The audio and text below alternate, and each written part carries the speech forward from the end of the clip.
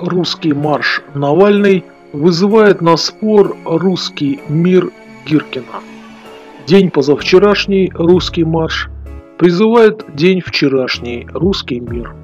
Маршист зовет к ответу боевика. Хвост змеи национализма желает уязвить голову с ядовитыми зубами и холодными глазами.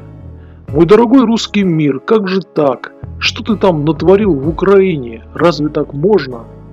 Мой дорогой русский марш, я вырос из тебя. Почти 10 лет ты меня лелеял, я ходил в твоих сапогах, а потом я креп, стал гибридной государственной политикой, собрал детей своих и пошел в Украину убивать укрофашистов.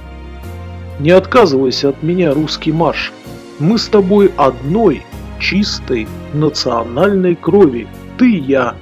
Ты мечтал, я сделал. Ты будильник, я проснувшийся боец. И правда, в год начала гибридной войны против Украины русский марш в Москве 4 ноября собрал очень мало людей. В.В. Путин целиком съел националистическую повестку дня. И русский марш, и русский мир пошли бок о бок бои гибридными отрядами в Украину. Прошло три года, гибридная война против Украины и западного мира закончилась поражением. Частично перебита орда русского марша и русского мира. Россия под санкциями, экономика в стагнации. Перспектив победить западный мир с двумя процентами мирового ВВП нет никаких. Националистическая повестка дня взятая на перевес Путиным, привела Россию к провалу, наглядно показав, что по этой дороге ходить не стоит. Верно, перспективы России связаны с освобождением от национализма, с формированием общественного запроса на интеграцию страны в современный западный мир, создание возможностей для всех граждан на разворот ресурсов сжигаемых в войнах и в последствиях захватов на внутренние нужды страны. Конечно, перемены не просто неотделимы от решения крымского вопроса, и вывода их там нету из Донецка и Луганска. Перемены должны предполагать широкую политику доверия между Россией и Украиной, компенсацию Украине ущерба от гибридной войны создание механизмов, которые гарантировали бы Украине и другим соседям, что больше они не подвергнутся агрессии со стороны России. Только такая политика открывает этой стране хоть какую-то перспективу. И какое значение для такого подхода имеют споры националистов разных оттенков – теоретического, марширующего и уголовно-практического стреляющего.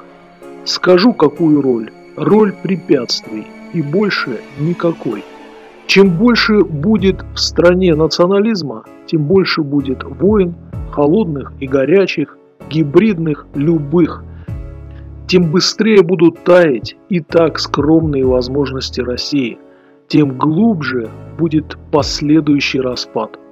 Поэтому только отказ от национализма, от любого национализма в любых формах. Москва, лето, дожди. Они не могут смыть запекшуюся на руках национализма кровь убитых в Украине. «Это не я», — говорит бледнее русский марш. «Не прячь руки, покажи их всем.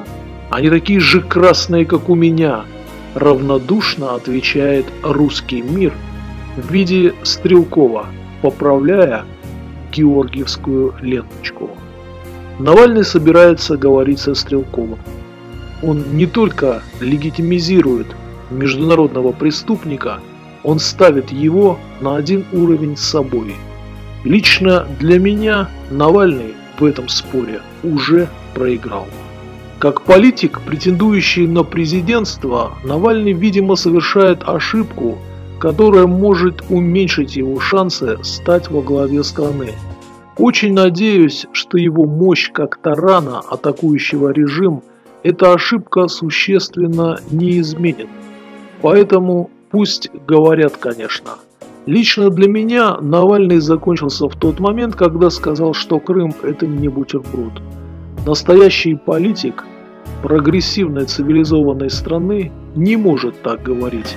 Он должен был безоговорочно объявить, что то, что было сделано путинским режимом, должно быть разрулено в законном порядке, уважающим международное право. А раз он этого не говорит, значит ничем особым лично для меня Навальный от Путина не отличается. И вот то, что он будет говорить с Гиркиным Стрелковым, на самом деле маньяком-убийцей, с которым должен разговаривать только прокурор на скамье подсудимых, лишний раз доказывает, что, видимо, в Алексее Навальном я не очень-то ошибаюсь.